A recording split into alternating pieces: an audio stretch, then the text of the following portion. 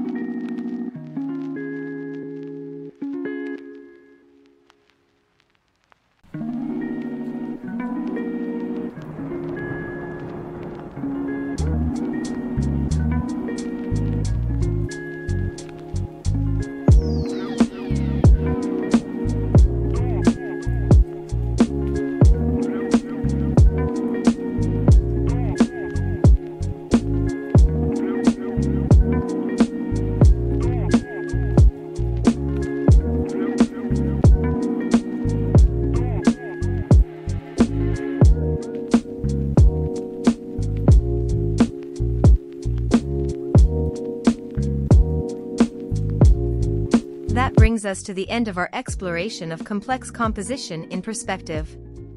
I hope you found this video informative and inspiring. Remember, mastering perspective is a skill that takes time and practice, but the results are truly rewarding. So, go ahead and create your own captivating artwork using the power of perspective. Don't forget to like this video and subscribe to my channel for more art-related content. Thanks for watching, and until next time, keep drawing. Bye.